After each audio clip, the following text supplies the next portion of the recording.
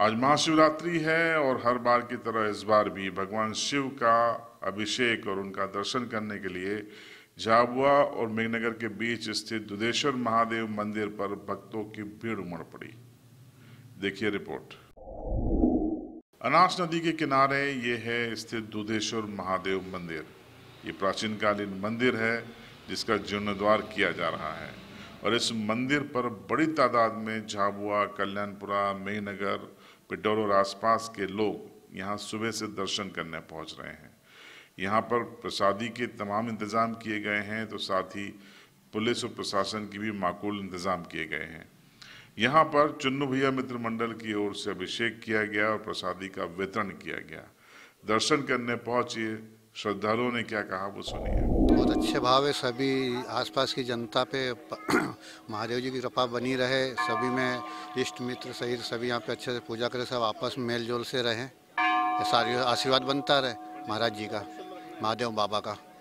क्या क्या करते हैं आप यहाँ पे सुबह पाँच बजे अभिषेक होता है जिसमें एक कुंटल गुन्ने का रस एक कुंटल दूध वगैरह से उससे पूरा अभिषेक होता है महादेव जी का। उसके बाद में फिर प्रसाद भोग लगता है, वो प्रसाद भोग, यहाँ पे कम से कम पंद्रह से बीस हज़ार लोग जो आते हैं, उनमें वितरण कर दिया जाता है। और वो अच्छे श्रद्धा भाव से ये लोग आते हैं यहाँ पे, और सभी प्रसादी ग्रहण करके ही जाते हैं यहाँ से।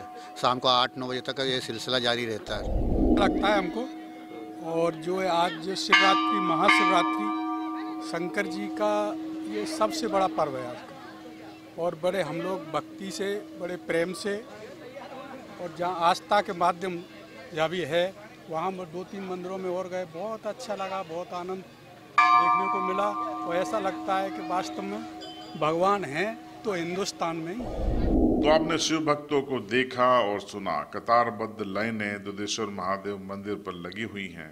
भगवान शिव का दर्शन करने, उन्हें जल चढ़ाने, बेलपत्र अर्पण करने के लिए लोगों में खासा उत्साह है। इस व्यवस्था को बनाने में चुन्नू भैया मित्र मंडल ने काफ़ी उल्लेखनीय काम किए हैं। उनकी ओर से क्या कहा, ये सुनिए। दुधेश्वर महादेव मंदिर, जिसकी की प्रतिष्ठा 10 मार्च उन्नीस को हुई थी, लगभग तीन दशक ये मंदिर पूरा करने जा रहा है। और यहाँ जो भगवान भोलेनाथ का शिवलिंग है, यह मेघनगर निवासी महेंद्र सिंह जी के स्वप्न में उनको यहाँ पे आया था। और उसके बाद में उन्होंने इस अनास नदी से ये शिवलिंग प्रकट हुआ है। और इस शिवलिंग की स्थापना मार्च उन्नीस में हुई। उसके पश्चात से ही यहाँ पे हज़ारों भक्तों का इस क्षेत्र के यहाँ पे तांता लगता है। शिवरात्रि में, श्रावण मास में हज़ारों भक्त यहाँ पर भगवान के दर्शन करने आते हैं और यह भी कहा जाता है और बहुत से लोगों के जीवन में यह भी हुआ है कि जिनके घरों पे संतानें नहीं थी, उन्हें भोलेनाथ ने अपने आशीर्वाद से उनके घरों में संतानें भी हुई है। तो काफ़ी चमत्कारी मंदिर है।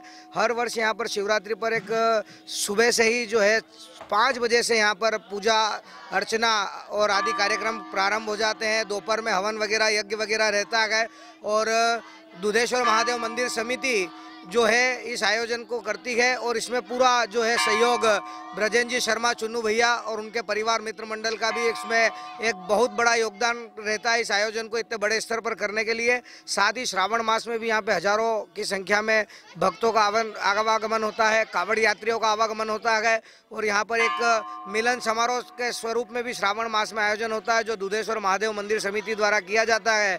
और ये पूरा समिति है जिसमें पंद्रह बीस लोगों का एक टीम है जो इस मंदिर का पूरा संचालन करती है और जो बड़े आयोजन होते हैं उसमें ब्रजेंद्र जी शर्मा, चुन्नू भैया और उनके परिवार और मित्र मंडल का भी एक बड़ा सहयोग रहता है इस आयोजन को करने में।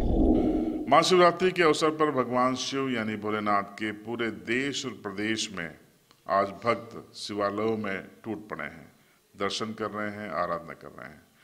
लाइव की ओर से आप सभी दर्शकों को महाशिवरात्रि की बधाई और शुभकामनाएँ।